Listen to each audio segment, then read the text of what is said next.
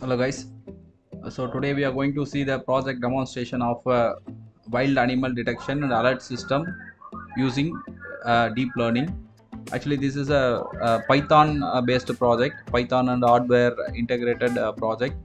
So basically the concept of the project is using the webcam or using the cam from the camera uh, we need to identify the wild animals. And uh, if any uh, dangerous wild animal is detected we need to give a alert to the particular person or particular people uh, who is living uh, near to that uh, area. So this is the concept. So for this project we are going to use python as a front end. So where we are going to access the uh, camera footages using the deep learning techniques and we are going to identify the wild animals. So for uh, identifying the wild animals we use several algorithms here. So here you can see this is the abstract of the project uh, which clearly describes about the idea of the project and uh, existing system proposed system and the introduction part.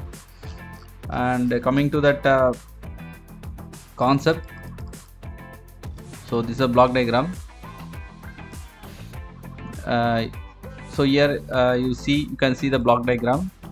It clearly represents the flow of projects here. So a pc camera was used. So from the camera we are going to detect what type of uh, uh, if any animals passes uh, around that uh, camera. It will identify whether it is a wild animal or normal animal or whatever human or something will be identified from this camera. So the image will be captured from the camera.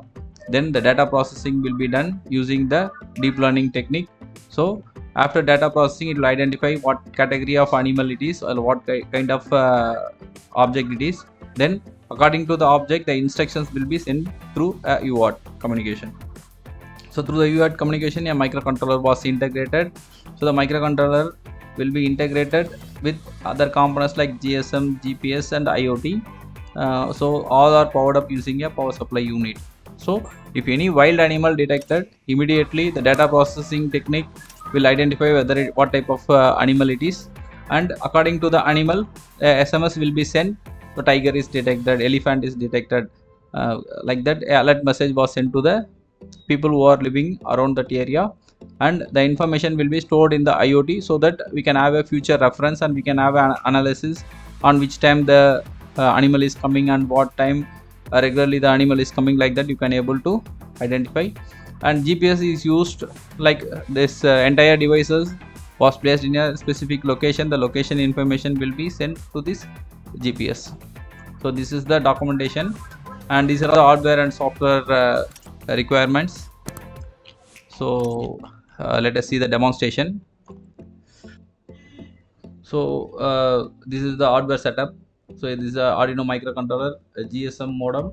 Which was connected to the laptop using cp210 so in the laptop a python based software application was developed.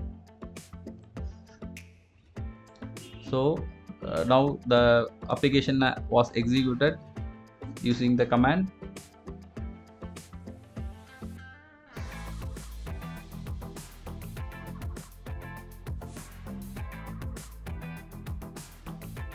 so uh, here uh, my developer is showing a wild animals in front of the camera. You can't able to take the entire setup to the uh, real-time field. So instead of that we are just showing a wild animals in front of the camera. So our uh, deep learning method using cnn will identify what type of animal it is. So here you can see in the display that it's a bear like that so based upon the animals a gsm this gsm modem will send an sms alert to the people who are all nearby with the animal name uh, with the location everything. So here you can see a alert message which was received for, by the user. So this is a gsm modem. Using this modem only we are going to send the data. And uh, coming to the report point of view let us see what are all the contents available in the report project report. The project report includes uh, 35 pages. So here you can see uh, hardware software requirements system architecture data flow diagram class diagram user case diagram related works literature review module module descriptions. So information about the python so general image processing techniques. And here in this project we used CNN uh, algorithm convolutional neural network algorithm. So the information about the algorithm was given here. And conclusion. Finally the references which were used to get this idea.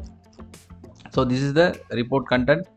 So uh, if you want to develop any kind of projects or if you required this project you can contact our executive.